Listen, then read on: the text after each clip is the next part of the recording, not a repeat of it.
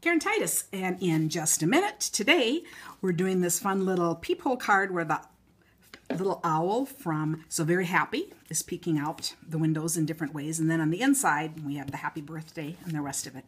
So to just make quick work of this,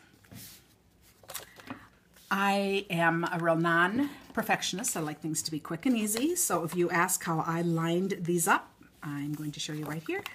I took my paper and I'm just visually looking at it and putting it all the way through.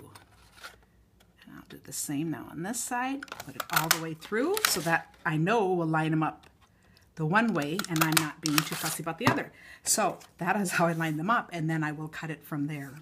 Then I cut out just the parts of the owl that were going to be exposed and put that on, added a little trim and fun card. You, this would be fun to do with the zoo animals, any little animals that would be fun to be peeking out.